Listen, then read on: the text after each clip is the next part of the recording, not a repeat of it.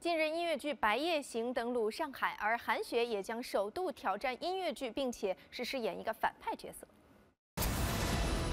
这些年，我一直在说，我想演一个反面角色。嗯，雪穗应该是能够在舞台上毫无顾忌地去演一个。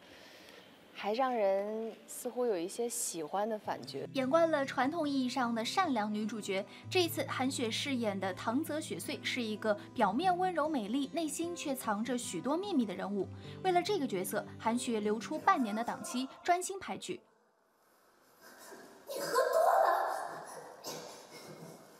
我其实特别慌，是因为我本身其实不不太运动，所以我当时最担心的就是体能上跟不上。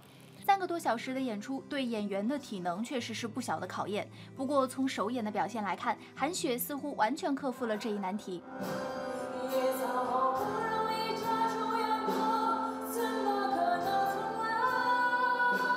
而令韩雪印象最深的，则是最后一场戏，因为是之前所有电视剧版和电影版中都没有的桥段。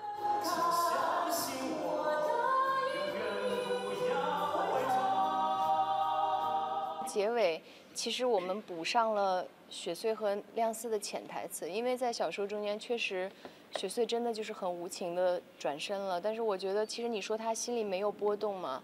他没有想过亮司这么多年为他付出的这些，我觉得肯定会有。但凡是一个女性，她一定心里会有波澜。只是我们在舞台上用一种可能写意一点的方式把它呈现出来了。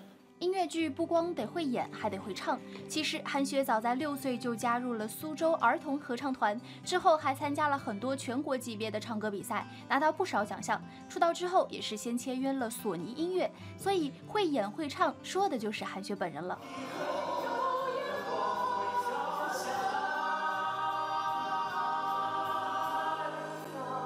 我喜欢那个最后一首歌《Beside You》，就是。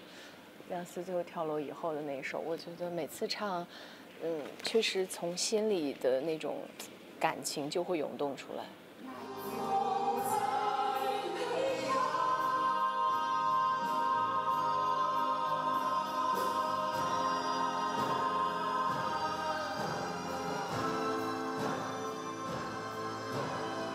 文艺新天地上海采访报道。